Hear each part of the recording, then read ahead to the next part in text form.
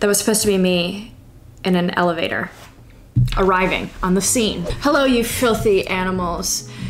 How is it going? Today I have a video that I think is going to be a little bit more laid back and fun. This is a video that pertains directly to my home, my happy place for the past seven years, though not always happy. Sometimes a little cluttered, sometimes a little chaotic, unhinged, dirty, and uh, gross. That is New York City. New York, concrete jungle, wet dream tomato. That New York. I was recently scrolling on the tubies and I saw that uh, Jack Edwards had done a uh, a video about books based in New York City, books that he bought in New York City that are about New York City. I was like, fair, that's that's cool, that's very cool. I would like to add to that conversation, you know? Why not? I feel like I can. I've only been here seven years, so technically I'm not a full true New Yorker. 10 years is the deadline for that. Though I've been through a lot of New York stuff.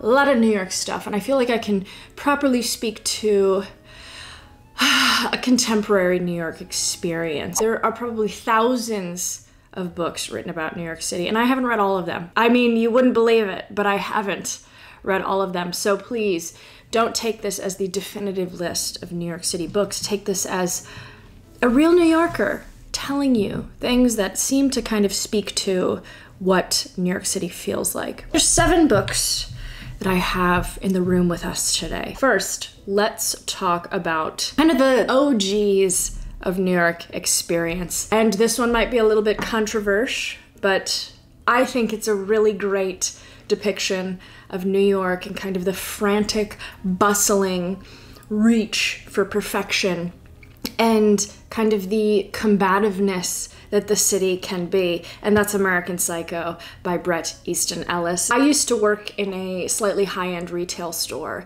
and the amount of people that would come in that kind of fit this insanely polished finance stereotype was honestly appalling. Everybody kind of looked the same. They all had the same shoes. Everybody looked for common projects. That was what the the the, the off day shoe was for all of these people that worked in this particular hub. This book, it feels like such a stretch. It feels like this really kind of demonic representation. It's a true satire. It's so unbelievable that that's where the believability is. I don't know what American Psycho is. It's all about this murderer who lives in this upper upper tier of society in the 1980s, 90s. This competitiveness that lies within this field. And there's so much about that book that is is real. I mean, you get into these certain circles of Manhattan and it's totally impenetrable. You have to be in a certain sort of coded way to get in. I liked this book a lot. I read this when I was in New York City, so this wasn't a book that I had read when I was trying to kind of get here. I read it when I was in New York City. I read it when I was living in Manhattan. And I read it when I was still working that job that I was constantly encountering these people that fit that stereotype so well. So I think that this book represents New York City really, really well. And I know that this is, you know, problematic and everybody has issues with it, but it illuminates this circle in a way that you kind of have to see it to believe it, but it's it's there. It's totally there and it hasn't left, and I don't think it's going anywhere anytime soon. Second book, and uh, I toyed with kind of classics in New York City. I mean, obviously, you have The Catcher in the Rye, which is about youth in New York City and kind of walking through these areas. But I think that the best book that shows kind of this older style of New York City is The Great Gatsby. What I love about The Great Gatsby and why I think it represents New York City so well is that it shows this totally untouchable class, this this the most elusive of personalities, and it, it ties it into people of a much lower kind of caste and how we're able to intermingle and that is truly what New York feels like. I mean, you you have these untouchables. You have these people who you only fantasize about existing, and then sometimes you end up brushing past them on the street. You end up being weirdly at the same place at the same time. It also elaborates a lot onto the American dream, obviously. I mean, that kind of is like the quintessential American dream book, but this in particular, I mean, New York City is a place that so many people from so many different walks of life, they all migrate to this, this small little island and they all have this dream of making it happen. And I think that that is New York City. I mean, I talk to people from different countries and they all have these wild ideas about New York City, and a lot of the time, it does live up to the expectations. When I moved from a small town into New York City, New York City lived up to my expectations and so much more. And I think that The Great Gatsby captures that so well. And it also touches upon a lot of the sadness and the emptiness that happens with this city that's bustling and moving so fast next to you. And you kind of feel like you're standing alone in this traffic. I think it's a great book, and I think that it represents New York City so, so well. I don't care. Sue me. Sue me. Let's touch upon some of the more contemporary fiction that I think shapes New York City so well. There's a ton of contemporary books that talk about New York City. I haven't read them all, but these are two books that I think really encompassed the feel of New York in kind of a, a, one of them is in like a jovial lighthearted way and one of them is kind of like a struggling sort of way. Of course, you do have kind of runner-ups like you have a little life that I think touches upon New York really really well, but I think that that's more of a look into friendship. I just finished Taipei by Tao Lin, which I think describes Brooklyn really really well. What else did I want to talk about? What else what other like runners up did I have? I don't remember whatever. Let's talk about the two books that made the final cut. First one that I'll talk about, and this is like a new release within the past three years, and that is Luster by Raven Leilani. This wasn't a favorite, favorite book of mine, but I did enjoy reading this book because I think it touches on very current artist in New York City. I think she works in like a publishing house. She gets laid off from her job and she's struggling to make ends meet. She ends up getting in kind of this taboo relationship with this married man. And it, it looks into how the younger generation is sort of navigating the messiness of New York City. It has a lot of like iconic New York moments, like she talks about Comic Con at the end, which I've only been to Comic Con in LA. Don't ask me how I got there. All right, I'll tell you. I snuck in with somebody else's badge. no, actually, it was given to me, and I had to pretend that I was a totally different person. Anyway, so this book feels very modern. It feels like it can speak to the younger generation. I think she lives in Bushwick, and that is exactly like the epicenter of the youth of New York City live. I mean, I have a lot of friends that live in Bushwick, and it describes a sort of artsy scene, this kind of new wave of people coming into the city, and I think that describes it really, really well. So, again, not a super fave, but I think that it depicts what New York feels like for a younger person. And to kind of piggyback off of that, I have an iconic book, legendary, top tier, and that is Happy Hour by Marlowe Granados. I think that this is like a BookTok favorite now. Every time I walk into a bookstore, this is always on like BookTok picks, the BookTokers. And uh I can see why. It's Girlie's book, but this is all just about the fun of New York City and just how everything is so spontaneous. And it's all about who you know. And it's all about getting into the best parties. And it's all about getting in and having the most fun and kind of making these connections that bring you to these places that are so unexpected and so unbelievable. And it's just saying yes yes yes yes yes yes yes. Which for my first 2 to 3 years of New York City that's all I did. I I really can't tell you how much fun New York City is. And I think a lot of the time in these books about New York, you really feel this this craziness. You feel this temperature there that's just so unbearably hot and unbeatable. But then nobody really talks about how much fun you have in New York City. And to me, that's what this book captured so well in a way that I hadn't read in a really long time. There's really no plot. There's really no anything in it besides just these fabulous girls having fun in New York City, just trying to pay their rent. And that's it.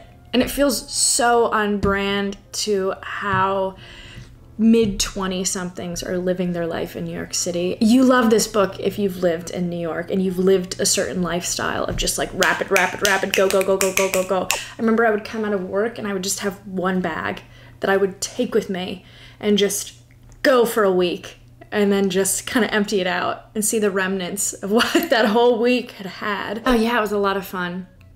I love this book and I highly suggest it to anyone that just wants to feel how this frantic energy can be positive and fun. So, work. So, after that, oh, positively fantastic choices. I chose three nonfiction books that I think kind of were perfect for me to read. The first one is obviously, well, not obviously, because you don't know. The first one is a book that is so devastating. It's about something that happened in New York City that I think we all know, um, but I think it's incredibly important for any New Yorker to read. And that is The Only Plane in the Sky, and that is about the attacks on 9 11. And what's interesting about this book, I've talked about it on the channel before, but it's all chronologically written from so many different perspectives. There's so many different timestamps, and it's all of these very unique vantage sort of points that all of these different people came together and told in this very linear narrative. And it's so interesting. I think I read this in like a day and I just breezed through this, and it really just shines a light onto this catastrophic moment in New York City history and in the United States history, but shows you just how uniform New Yorkers can be in kind of adapting and evolving past something that is so devastating. Hi, Oleg. I'm filming right now. There's our other favorite New York transplant. I'm talking about New York City books right now. What do you think is like a, an important thing for every New Yorker to see In the city? in the city? Hard to say. What is like a the most New York thing you've experienced? It's really hard. It's, a, it's like a question. I don't know. Depends what you're talking about. I would say Oleg's favorite New York City thing is the ferry. What is that? The ferry. Oh, I was about to say that. Were you gonna say that? I was about to say that. Which is interesting because in the book, The Only Plane in the Sky, it showed how the ferries were utilized to kind of shuttle people out of lower Manhattan, which is where the Twin Towers were. I mean, it's crazy to me. Every couple of months, I just look at the New York City skyline and I imagine where the Twin Towers used to be. I try to put myself in that position of watching it all unfold, and it's it's really unbelievable. And I have older friends who lived in New York at the time, and they tell me stories about it and just how bonded everybody became under the same umbrella of distress and how they all picked up the pieces. And I think that it's a fantastic rendition of telling that story. And I love this book. I highly, highly, highly suggest if you are curious. And the second two books are books that kind of were really, really important to me when I was making my decision of moving into New York City. The first book is Chelsea Girls by Eileen Myles. Myles is a poet who was living in New York City in the 1970s. This is much more of their understanding of life and kind of building this platform to grow and thrive in New York City and their much more of their past. This book was really moving to me and it kind of showed that grittiness of New York City that I wanted living in the village and all of these up and coming artists. And I think there's so many different books about that sort of lifestyle and time in New York history, but I think that this one does it really, really well. And I like Myles as a writer, and I think that they represent a part of New York City that a lot of people love to kind of investigate. And then I would say the most instrumental book to persuade me to move to New York City, the book that just absolutely pushed me over the edge. I was teetering, and this book pushed me. Just Kids by Patti Smith. I recently talked about this book in a video. I think that this book was integral to so many young people's lives. I think for me, what defines New York for a lot of people is that you are able to adopt a second family. In New York, you are able to reinvent yourself. Nobody knows you, and really nobody cares. But in this carelessness and in this life that you think is is maybe temporary. You find this permanence in these people that you meet along the way. And I think that that is what Just Kids does so well. Oh, it's going to make me cry. the people that I've met in New York City are are my second family. Wow. That Don't laugh at me, Oleg. I mean, Oleg I met in New York City. I would have never met Oleg if I didn't move to the city. And uh, I think that that's what this book, oh my God, represents and does so well. So there you go.